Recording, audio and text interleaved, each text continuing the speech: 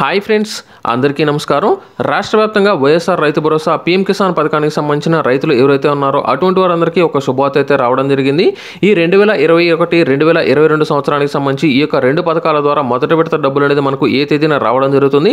అలాగే ఈ రెండు పథకాలకు సంబంధించి అంటే వైఎస్ఆర్ రైతు భరోసా అలాగే పీఎం కిసాన్ పథకానికి సంబంధించి మీకు మొదటి విడత డబ్బులు అనేది వచ్చి రెండో విడత అనేది రాకపోయినా అలాగే అలాగే మీకు అర్హత అనేది ఉండి ఇంకా మీ యొక్క పేరు అనేది అర్హుల జాబితాలో రాకపోయినా అలాగే టోటల్గా ఈ యొక్క పథకాలకు సంబంధించి మీకు డబ్బులు అనేది రాకపోయినట్లయితే ఏ విధంగా కంప్లైంట్ అనేది ఇవ్వాలి? అలాగే దీనికి సంబంధించిన చివరి తేదీ అనేది ఏమిటి? ఎప్పటి నుంచి ఈ యొక్క రిజిస్ట్రేషన్ అనేది చేయడం జరుగుతుంది?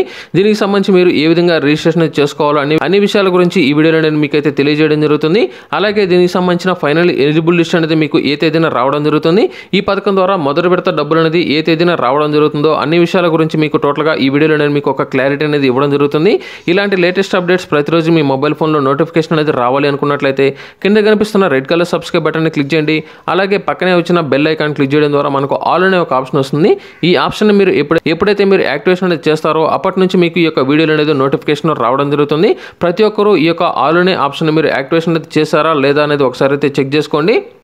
రాష్ట్ర వ్యాప్తంగా వైఎస్ఆర్ రైతు భరోసా పీఎం కిసాన్ పథకానికి సంబంధించి ప్రతి సంవత్సరం మనకు పదమూడు వేల ఐదు వందల రూపాయలు అనేది రైతుల బ్యాంక్ ఖాతాకి అయితే వేయడం జరుగుతుంది. ఈ పదమూడు వేల ఐదు వందల రూపాయల్లో ఏడు వేల ఐదు వందలు అనేది వైఎస్ఆర్ రైతు భరోసా ద్వారా అలాగే పీఎం కిసాన్ ద్వారా ఆరు వేల రూపాయల చొప్పున టోటల్గా పదమూడు వేలు అనేది ప్రతి సంవత్సరం రైతులకైతే అందజేయడం జరుగుతుంది. ఈ పదమూడు వేల ఐదు వందల రూపాయలు అనేది టోటల్గా మూడు విడతల్లో రైతులకైతే అందజేయడం జరుగుతుంది. మొదటి విడత అనేది మే నెలలో ఏడు వేల ఐదు వందల రూపాయలు రెండో విడత అనేది అక్టోబర్లో నాలుగు వేల రూపాయలు జనవరిలో రెండు వేల రూపాయల చొప్పున టోటల్గా పదమూడు వేల ఐదు వందలు అనేది ప్రతి సంవత్సరం రైతులకైతే అందజేయడం జరుగుతుంది.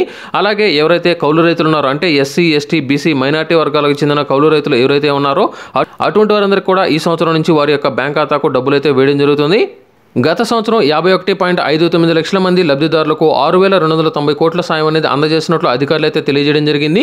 ఈ సంవత్సరం యాభై నాలుగు లక్షల మంది లబ్ధిదారులు ఉన్నట్టు అధికారులు అయితే వెల్లడించడం జరిగింది. ఈ యాభై నాలుగు లక్షల మందిలో యాభై ఒక్క లక్షల మంది భూ యజమానులు అంటే సొంత భూమి కలిగిన రైతులు అలాగే మూడు లక్షల మంది భూమి లేని ఎస్సీ ఎస్టీ బీసీ మైనార్టీ వర్గాలకు చెందిన కౌలు రైతులు ఉన్నట్లు అధికారులు అయితే వెల్లడించడం జరిగింది. ఈ యాభై నాలుగు లక్షల మందికి టోటల్గా ఏడు వేల రెండు వందల తొంభై కోట్ల మేర సాయం అనేది ఈ సంవత్సరం అందజేస్తున్నట్లు అధికారులు అయితే వెల్లడించడం జరిగింది. ఈ ఏడు వేల రెండు వందల తొంభై కోట్లలో పీఎం కిసాన్ పథకం ద్వారా మూడు వేల అరవై కోట్లు వైఎస్ఆర్ రైతు భరోసా ద్వారా నాలుగు వేల రెండు వందల కోట్ల మేర లబ్ధి అనేది రైతులకైతే అందజేయడం జరుగుతుంది. ఈ సంవత్సరం వైఎస్ఆర్ రైతు భరోసా పీఎం కిసాన్ పథకానికి సంబంధించిన మొదటి విడత డబ్బులు అనేది ఏడు వేల ఐదు వందల రూపాయలు మే పదమూడో తేదీన రైతుల బ్యాంక్ ఖాతాకు వేస్తున్నట్లు అధికారులు అయితే వెల్లడించడం జరిగింది.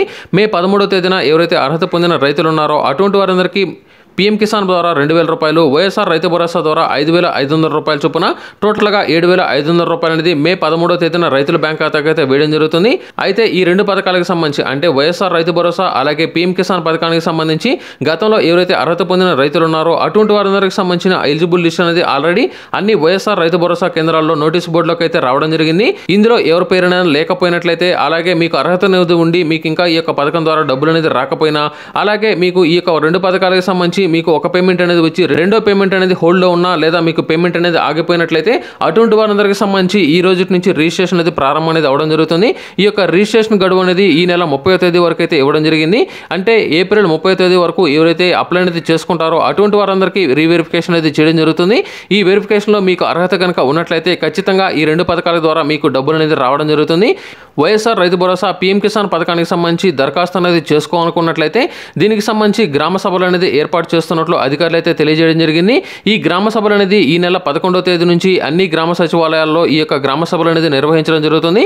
మీ గ్రామ వార్డు సచివాలయ పరిధిలో మీకు ఎప్పుడైతే ఈ యొక్క గ్రామ సభలు అనేది నిర్వహిస్తారో ఆ రోజున తప్పనిసరిగా వైఎస్ఆర్ రైతు భరోసా పథకానికి సంబంధించి కావచ్చు అలాగే పీఎం కిసాన్ పథకానికి సంబంధించి మీకు ఏదైనా సమస్యలు కనుక ఉన్నట్లయితే అంటే ఈ పథకం ద్వారా మీకు అర్హత అనేది ఉండి మీకు ఇనిజిబుల్ లిస్ట్లో పేరు అనేది వచ్చినా లేదా ఈ రెండు పథకాల ద్వారా మీకు ఒక పేమెంట్ అనేది వచ్చి రెండో పేమెంట్ అనేది ఆగిపోయినా అటువంటి రైతులందరూ తప్పనిసరిగా వారి యొక్క బ్యాంక్ పాస్ పాస్బుక్ జెరాక్స్ అలాగే వారికి సంబంధించిన ఈ ఆధార్ కార్డ్ జెరాక్స్ అనేది తీసుకుని ఈ నెల పదిహేనో తేదీ లోపల రైతు భరోసా కేంద్రాలకు కనుక వెళ్ళినట్లయితే రైతులకు సంబంధించి వారు వెరిఫికేషన్ అనేది చేయడం జరుగుతుంది. అలాగే వైఎస్ఆర్ రైతు భరోసా పీఎం కిసాన్ పథకాలకు సంబంధించి అర్హుల జాబితా అనేది అన్ని వైఎస్ఆర్ రైతు భరోసా కేంద్రాల్లో ఉంచినట్లు అధికారులు అయితే తెలియజేయడం జరిగింది కాబట్టి ఇందులో మీ పేరు అనేది లేకపోయినా లేదా మీకు అర్హత అనేది ఉండి మీకు ఈ యొక్క రిజిస్ట్రేషన్ అనేది చేసుకోవాలనుకున్నా సరే తప్పనిసరిగా ప్రతి ఒక్క రైతు ఆధార్ కార్డు జెరాక్స్ పట్టాదార్ పాస్బుక్ జెరాక్స్ అలాగే మీ యొక్క బ్యాంక్ ఖాతా ఏదైతే ప్రస్తుతం వర్కింగ్లో ఉందో ఆ బ్యాంకుకు సంబంధించిన పాస్బుక్లో మొదటి పేజీ జెరాక్స్ అనేది తీసుకుని రైతు భరోసా కేంద్రాల్లో కనుక రిజిస్ట్రేషన్ అది చేసుకున్నట్లయితే అటువంటి వారందరికీ ఈ యొక్క రెండు పథకాల ద్వారా పదమూడు వేల ఐదు వందలు అనేది ప్రతి సంవత్సరం అయితే రావడం జరుగుతుంది. అలాగే ఈ రెండు పథకాలకు సంబంధించి మీకు పేమెంట్ అనేది ఆగిపోయినట్లయితే ప్రతి ఒక్కరూ తప్పనిసరిగా ఈ నెల పదకొండో తేదీ నుంచి ముప్పై తేదీ వరకు ఈ నెల పదకొండో తేదీ నుంచి గ్రామ సభలు అనేది నిర్వహిస్తారు కాబట్టి ఈ యొక్క గ్రామ సభల్లో మీకు సంబంధించి కంప్లైంట్ కనుక అందజేసినట్లయితే అటువంటి వారందరికి సంబంధించి వెంటనే పరిష్కరిస్తామని అధికారులు అయితే తెలియజేయడం జరిగింది. దీనికి సంబంధించి ఎలిజిబుల్ లిస్టు కనుక చూసుకున్నట్లయితే అన్ని వైఎస్ఆర్ రైతు భరోసా కేంద్రాల్లో నోటీస్ బోర్డులోకి అయితే రావడం జరిగింది.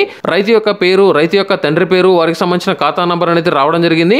అలాగే దీనికి సంబంధించి ఎవరైతే అనర్హుల జాబితాలో పేర్లు అనేది ఉన్నాయి. అంటే వారి యొక్క భూమికి సంబంధించి ఆధార్ నెంబర్ అనేది ఇంకా సీడింగ్ అనేది కాలేదు. అటువంటి వారందరికి సంబంధించిన లిస్ట్ కూడా రావడం జరిగింది. ఇటువంటి వారందరూ తప్పనిసరిగా మీ యొక్క పేరు అనేది ఎలిజిబుల్ లిస్ట్లో ఉన్నాయో ఎలిజిబుల్ లిస్ట్లో ఉన్నాయో తప్పనిసరిగా చెక్ చేసుకోండి. అలాగే దీనికి సంబంధించి మరొక విషయం కనుక చూసుకున్నట్లయితే ప్రస్తుతానికి ఎవరైతే ఎలిజిబుల్ లిస్ట్లో ఉన్నారో అంటే గతంలో గతంలో పేమెంట్ అనేది ఎవరికైతే వచ్చిందో వారికి సంబంధించిన ఎలిజిబుల్ లిస్ట్ మాత్రమే రావడం జరిగింది. దీనికి సంబంధించిన ఫైనల్ ఎలిజిబుల్ లిస్ట్ అనేది మే పదో తేదీన వెల్లడిస్తామని అధికారులు అయితే తెలియజేయడం జరిగింది. మే పదో తేదీన ఎవరి పేర్లు అయితే అర్హుల జాబితాలో ఉంటాయో అటువంటి వారందరికీ మాత్రమే మొదట విడత ఏడు వేల ఐదు వందల రూపాయలు అనేది మే పదమూడో తేదీన రైతుల బ్యాంక్ ఖాతాకు వేస్తామని అధికారులు తెలియజేయడం జరిగింది కాబట్టి ప్రతి ఒక్కరూ మీకు ఎలిజిబుల్ లిస్ట్లో పేరు అనేది ఉందా లేదా ఒకసారి అయితే చెక్ చేసుకోండి. అందులో పేరు అనేది లేకపోయినట్లయితే తప్పనిసరిగా గ్రామ సభలో కానీ అలాగే డైరెక్ట్గా వైఎస్ఆర్ రైతు భరోసా కేంద్రానికి దీనికి సంబంధించిన డాక్యుమెంట్స్ అనేది తీసుకుని వెళ్ళినట్లయితే మీకు తక్షణమే పరిష్కరిస్తామని అధికారులు అయితే తెలియజేయడం జరిగింది. ఈ వైఎస్ఆర్ రైతు భరోసా అలాగే పీఎం కిసాన్ పథకానికి సంబంధించి మీరు ఏ బ్యాంక్ అకౌంట్ అనేది ఇచ్చున్నారో ఒకసారి అయితే చెక్ చేసుకోండి. ఎందుకంటే ఈ మధ్య కాలంలో ప్రభుత్వ బ్యాంకులు అనేది ప్రైవేట్ బ్యాంకులోకి విలీనం అనేది అవడం జరిగింది. ఇలా విలీనమైన బ్యాంకుల విషయాన్ని కనుక చూసుకున్నట్లయితే దేనా బ్యాంక్ విజయ బ్యాంకులు అనేది బ్యాంక్ ఆఫ్ బరోడాలోకి విలీనం అనేది అవడం జరిగింది.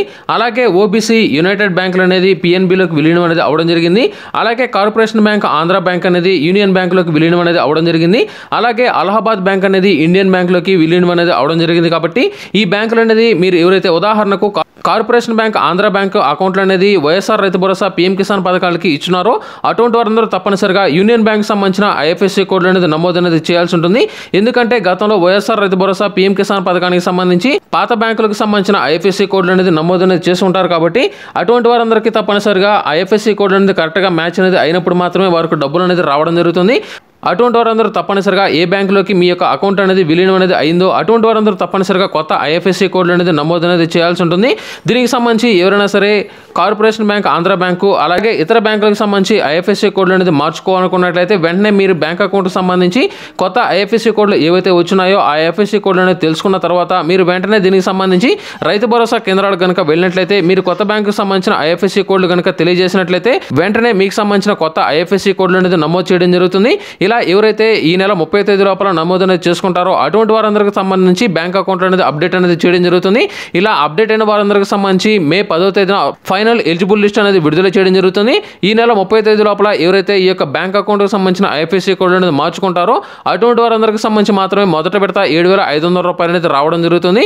ఇలా ఎవరైనా సరే ఈ నెల ముప్పై తేదీ లోపల కనుక మార్చుకోలేకపోయినట్లయితే అటువంటి వారందరికి సంబంధించి మొదట పెడతలో డబ్బులు అనేది హండ్రెడ్ పర్సెంట్ అయితే రావు. వీరందరికి సంబంధించి మరొక అవకాశం అనేది ఇవ్వడం జరుగుతుంది కాబట్టి అంటే మొదటి విడత ఏడు వేల ఐదు వందలు అనేది విడుదల చేసిన తర్వాత వీరికి సంబంధించి ఏదైనా డబ్బులు అనేది రాకపోయినట్లయితే కరెక్షన్ చేసుకోవడానికి అవకాశం అనేది ఉంటుంది కాబట్టి అటువంటి వారందరికి సంబంధించి రెండో విడతలో ఈ యొక్క ఏడు వేల ఐదు వందలు అనేది వేయడం జరుగుతుంది. మీకు అందరికీ మొదటి విడతలోనే ఏడు వేల ఐదు వందలు అనేది రావాలంటే తప్పనిసరిగా మీరు ఏ బ్యాంక్ అకౌంట్ అనేది ఇచ్చున్నారో ఒకవేళ మీరు ఇచ్చిన బ్యాంక్ అకౌంట్ అనేది వేరొక బ్యాంకులకు విలీనం కనుక అయినట్లయితే అటువంటి వారందరూ తప్పనిసరిగా కొత్త ఐఎఫ్ఎస్సి కోడ్ అనేది నమోదు చేసుకోండి.